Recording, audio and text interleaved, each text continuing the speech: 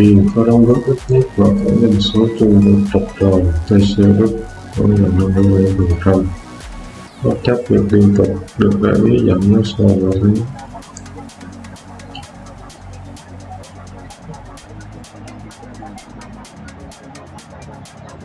Dù kết quả thực sự